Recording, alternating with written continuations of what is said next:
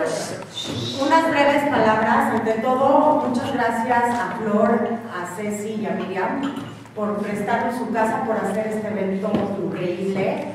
Eh, bienvenidas todas y todos y todos. Querida señora Jovita y señor Eduardo, es un honor para nosotros contar con su presencia esta noche tan especial para nosotros.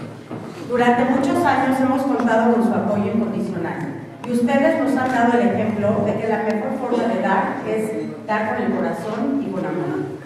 Señora la señora Anita trabajó durante, en AMAT durante muchos años y usted siguió su ejemplo trabajando con nosotras. Y ahora su hija Flor es el reflejo de lo que ha aprendido de sus padres. Señor Eduardo, el haber visitado la Casa de la Alegría nos muestra una vez más que su visión y generosidad no tiene límites. Ustedes son un pilar para la comunidad y un ejemplo de entrega y generosidad para todos nosotros. Les deseamos que Hashem los vuelve de salud y bendiciones. Recuerden que dar enriquece el alma. Gracias por estar aquí con nosotros y a ustedes también y a todos los, presentes. Y les vamos a dar un reconocimiento a la señora Jovita y al señor Eduardo.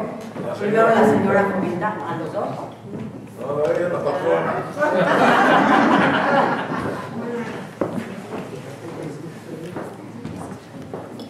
Bernardo.